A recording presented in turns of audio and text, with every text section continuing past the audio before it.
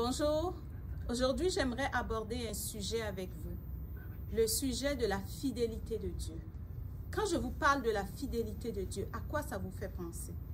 Pour moi, quand on parle de la fidélité de Dieu, ça me fait penser à sa bonté, ça me fait penser à son amour.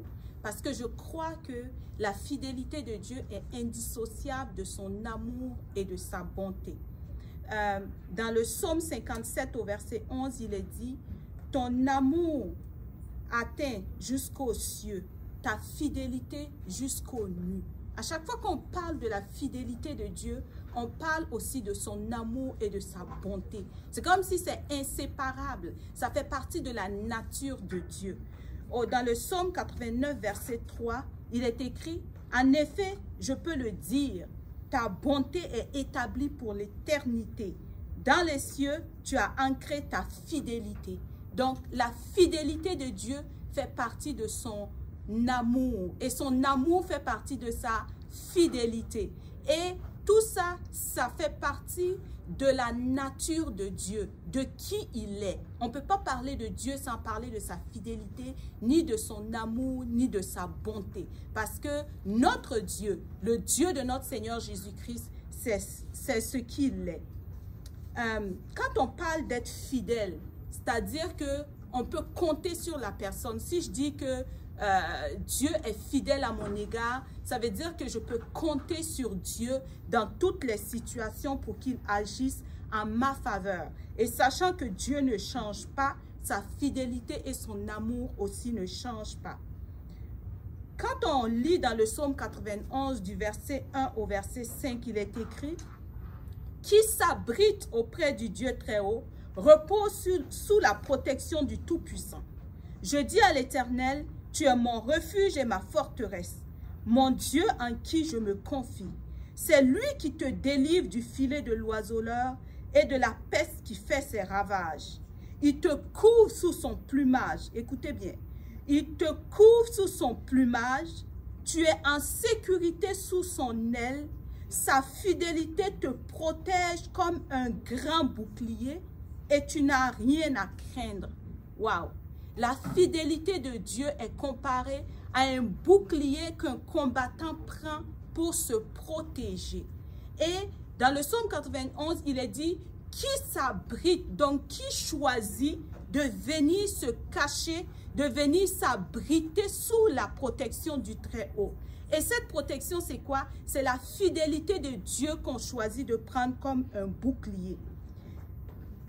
Lorsqu'on regarde aussi dans Éphésiens 6, quand Paul parle de l'armure que Dieu nous demande de revêtir, il dit dans Éphésiens 6, les versets 11, 13 et 16, « Revêtez-vous de l'armure de Dieu afin de pouvoir tenir ferme contre toutes les ruses du diable. C'est pourquoi endossez l'armure que Dieu donne afin de pouvoir résister aux mauvais jours et tenir jusqu'au bout après avoir fait tout ce qui était possible. Il dit en toutes circonstances, saisissez-vous de la foi comme d'un bouclier avec lequel vous pourrez éteindre toutes les flèches enflammées du diable. Donc, je reviens à dire, la fidélité de Dieu est un bouclier qui fait partie de l'armure qu'il nous demande d'endosser, de prendre les ruses du diable. Le bouclier fait partie de l'armure défensive, pas de l'armure offensive. Donc, la fidélité de Dieu est comme un bouclier qu'on prend, qu'on se protège contre toutes les ruses du diable. Et rien ne peut nous nuire, rien ne peut nous atteindre. Et j'ai déjà dit à quel point la fidélité de Dieu est reliée à son amour. Et dire que Dieu est fidèle à notre égard est de dire que Dieu va toujours agir pour notre bien. Mais cela dépend de comment on comprend la fidélité de Dieu. Plusieurs personnes, peut-être en regardant dans leur vie et dans les situations qu'ils ont traversées, vont se demander, ah, Dieu n'a pas, j'ai l'impression Dieu n'a pas été fidèle dans ça, Dieu n'a pas été fidèle dans ça. Mais sachant que la fidélité de Dieu et son la façon dont il manifeste son amour à notre égard est pour notre bien et pour sa gloire. La Bible nous dit dans Romains que Dieu fait concourir toutes choses pour notre bien et pour sa gloire.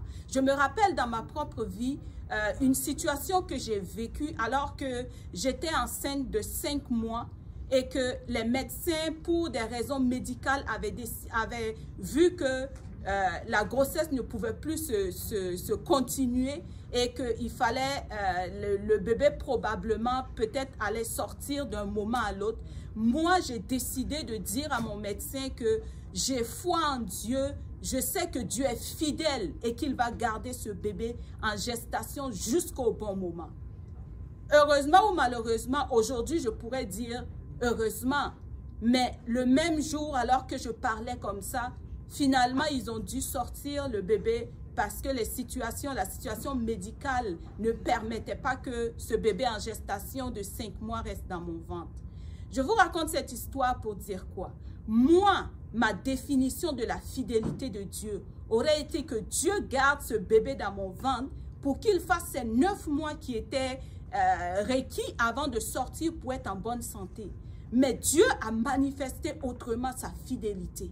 Ce bébé est sorti. Oui, j'ai dû prendre ce bouclier de la foi, c'est-à-dire la confiance que j'avais en Dieu. Ce bouclier de la foi m'a permis, dans toutes les situations, toutes les ruses du diable, toutes les flèches enflammées de l'ennemi, tout ce par quoi on est passé de tenir ferme. Et je peux vous dire aujourd'hui, Plusieurs années plus tard, le Seigneur m'a posé la question, as-tu eu raison de me faire confiance, Rachel?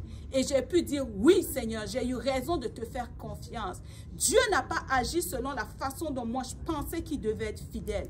Mais en bout de ligne, Dieu a été fidèle. Je veux vous encourager à vous dire, s'il y a des situations dans vos vies que aujourd'hui vous êtes en train d'interpréter comme si Dieu n'avait pas été fidèle, je vous dis que ce pas, euh, vous devez revoir votre interprétation parce que Dieu est toujours fidèle et il agit toujours pour sa gloire et pour notre bien.